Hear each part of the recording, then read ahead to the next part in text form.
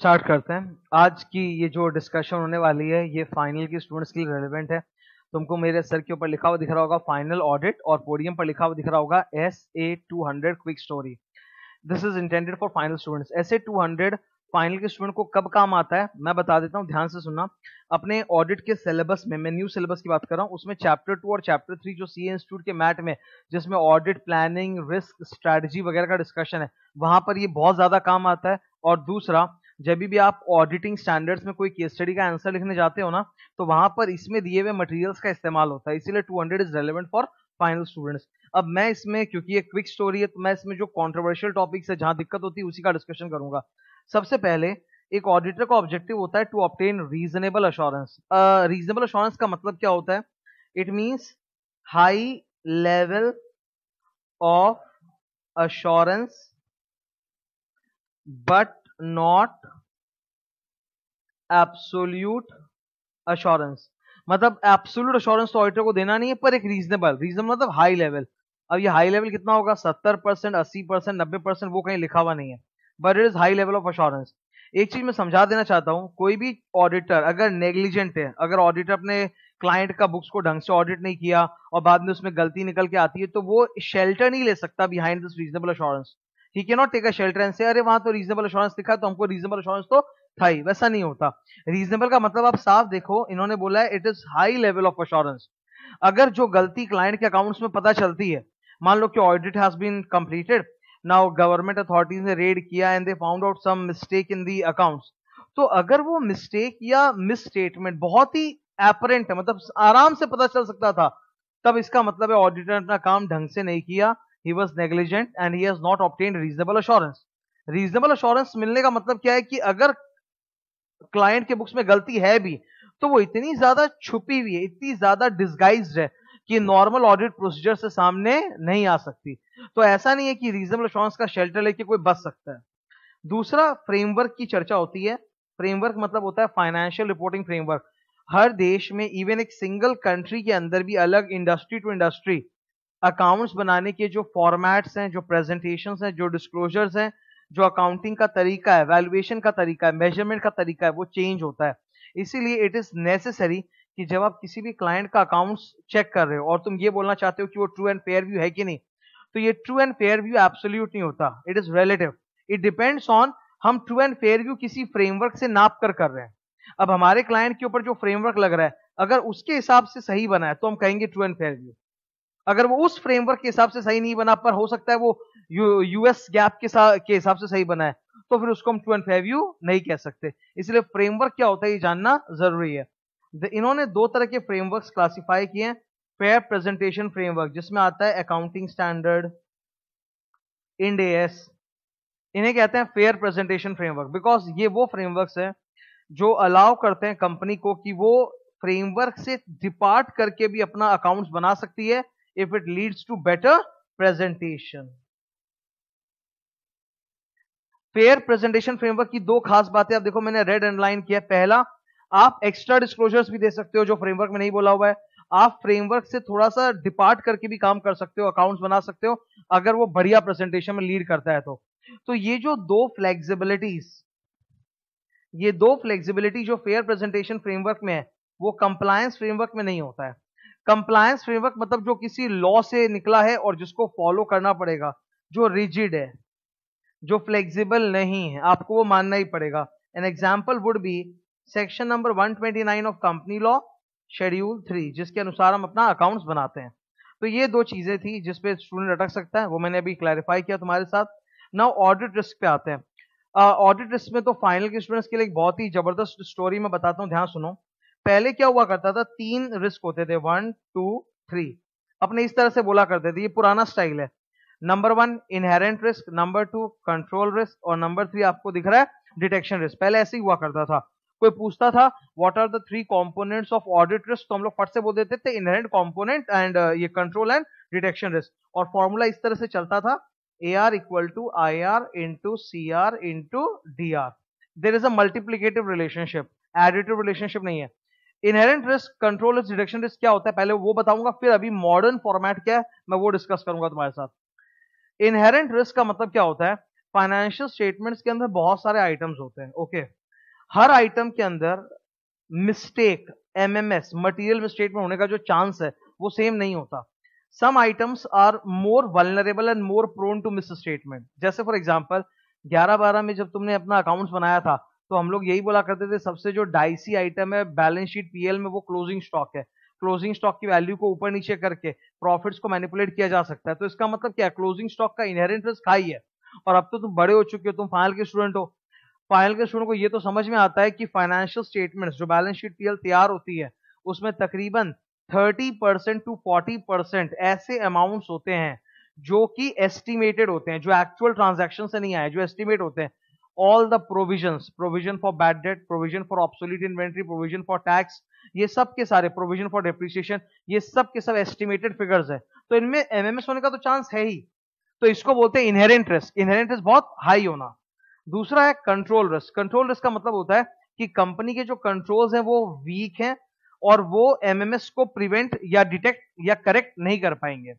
और थर्ड होता है डिटेक्शन रिस्क डिटेक्शन रिस्क जो होता है ना that depends on audit procedures as an auditor मेरा काम क्या है? मेरा काम तो यही है ना भाई, कि मैं अपने ऑडिट प्रोसीजर्स लगाऊँ और क्लाइंट के एफएस में एमएमएस ढूंढूं। दैट इज़ ऑडिट प्रोसीजर लगा के डिटेक्ट करना एमएमएस तो मेरे ऑडिट प्रोसीजर भी फेल कर गए to detect MMS that is called detection risk ये हो गया अपना थोड़ा इंटर टाइप डिस्कशन अब थोड़ा फाइनल की बात करते हैं।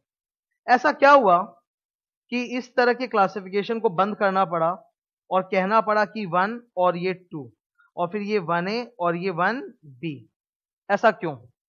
इनहेरेंट और कंट्रोल को क्लब करके एक सिंगल हेडिंग में डाल दिया गया, जिसका नाम है risk of material misstatement जिसे हम लोग बोलते हैं ROMM R O M M risk of material misstatement equal to I R into C R ऐसा क्यों?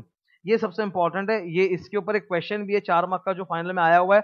मैंने बताया था ना फाइनल की किताब में चैप्टर टू थ्री में ऑडिट स्ट्रेटजी वगैरह तो उसमें क्वेश्चन आता है कि एक ऑडिटर जो होता है, वो इनहेरेंट रिस्क या कंट्रोल रिस्क को अलग अलग मेजर नहीं कर सकता। एक ऑडिटर जो है, वो इनहेरेंट रिस्क को और कंट्रोल रिस्क को अलग अलग मेजर नहीं कर सकता, इसीलिए उसको दोनों को कंबाइन करके रोमम असेस करना पड़ता है।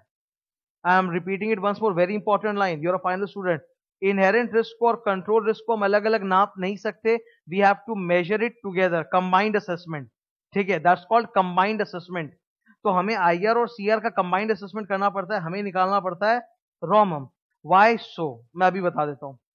बाय डेफिनेशन इनहेरेंट रिस्क में खुद लिखा है कि the susceptibility of a particular item to misstatement had there been no internal controls मतलब इंटरनल कंट्रोल्स की गैर मौजूदगी में फाइनेंशियल स्टेटमेंट के कुछ आइटम्स है जिनमें रिस्क बहुत हाई होता। ऐसे रिस्क को इनहेरेंट रिस्क कहते हैं। तो ये तो हाइपोथेटिकल हुआ।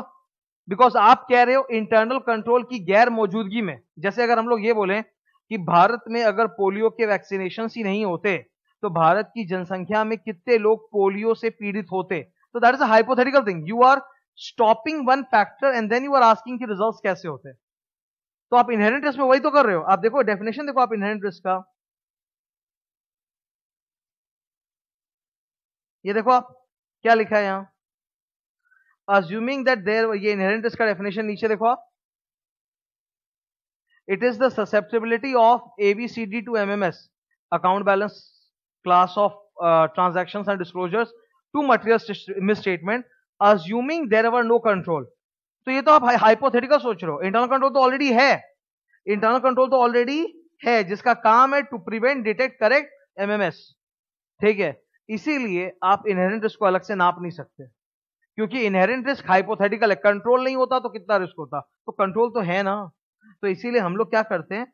हम लोग इन दोनों को कंबाइन असेस करते हैं। I R into C R and we call it ROMM तो आई होप तुमको समझ में आया होगा। ये फाइनल के लिए बहुत ही इंपॉर्टेंट एक चार मार्क का क्वेश्चन आया हुआ भी है। ठीक है? तो ये तो मेरी रिस्क के ऊपर डिस्कशन थी। आगे बढ़ते हैं।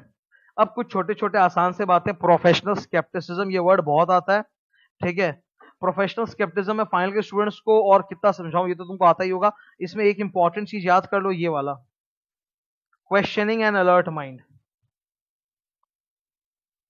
a questioning and alert mind बस थोड़ा सा, दो मिनट एक चीज़ बोलूँगा।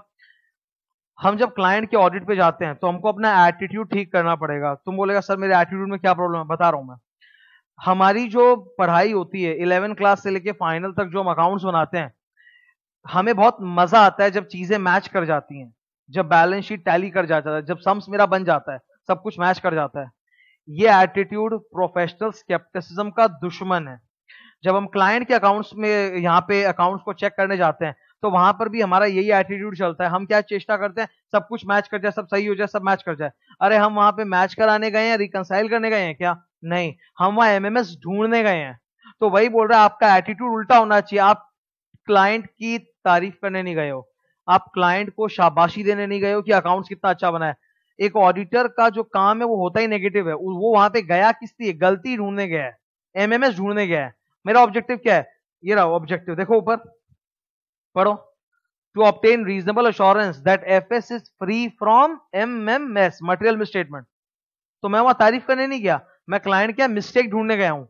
ये एटीट्यूड के साथ अगर आप करोगे तो उसको बोलते हैं प्रोफेशनल स्केप्टिसिज्म जहाँ पर भी आपको कुछ भी गड़बड़ लगे, सवाल पूछो इन्वेस्टिगेट करो। प्रोफेशनल जजमेंट इसको याद करने के लिए मैंने एक बहुत ही सिंपल वर्ड बनाया था, एकता। एक्सपीरियंस नॉलेज ट्रेनिंग ये रहा देखो। Experience knowledge training professional judgement professional judgement कहाँ से आता है? ऑडिटर के पास। Experience knowledge training last topic है ये ऐसे दोस्तों की conduct of an audit in accordance with SA एक ऑडिटर को स्टैंडर्ड्स फॉलो करने चाहिए। इस बात का एग्जैक्ट मतलब क्या है? मैं बता रहा हूँ, ध्यान सुनना। फ़र्स्ट हर क्लाइंट के हर स्टैंडर्ड अप्लाई नहीं करता। ठीक है? तो आपको पहले देखना है कि उस क्लाइंट के कौन कौन से स्टैंडर्ड्स अप्लाई करने और वही आपको फॉलो करना है। तो आपका काम हो गया। कुछ स्टैंडर्ड्स ऐसे हैं जो सब जगह लगेंगे। आपको चेक करने की भी ज़रूरत नहीं है। जैसे ऐसे 230 ऑडिट डॉक्यूमेंटेशन वो एक यूनिवर्सल स्टैंडर्ड है। पर there are certain other standards जो हर क्लाइंट में नहीं लगेंगे। जैसे अगर आपका क्लाइंट बहुत ज़्यादा प्रॉफिट मेकिंग है, उसकी हिस्ट्री अच्छी रही है फाइनेंशियली साउंड है तो वहाँ पर आप ऐसे 570 गोइंग कंसर्न नहीं देखोगे। तो सबसे पहला मतलब है कि क्लाइंट के ऊपर जो स्टैंडर्ड एप्लीकेबल है, वो आपने फॉलो करना है। Need not comply with the standards that are not relevant to the circumstances वो स्टैंडर्ड जो क्लाइंट को एप्लीकेबल नहीं वो मत लगाओ। सेकंड स्टैंडर्ड के अंदर दो चीज़ें होती है। एक होती है स्टैंडर्ड का ऑब्जेक्टिव कि वो ऑडिटर से क्या चाहता है, और फिर उस ऑब्जेक्टिव को पूरा करने के लिए प्रोसीजर्स दिए हुए रहते हैं कि कैसे कैसे उस ऑब्जेक्टिव को अचीव करना है।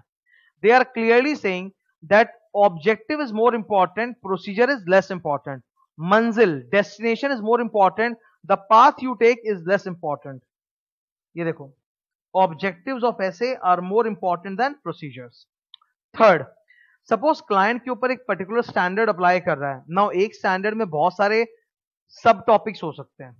तो इट इज़ नॉट नेसेसरी कि वो पूरा स्टैंडर्ड क्लाइंट पे अप्लाई करे, उस स्टैंडर्ड का सिर्फ़ एक पोर्शन अप्लाई करे। तो हमें सिर्फ़ वो रेलेवेंट पोर्शन ही लगाना है।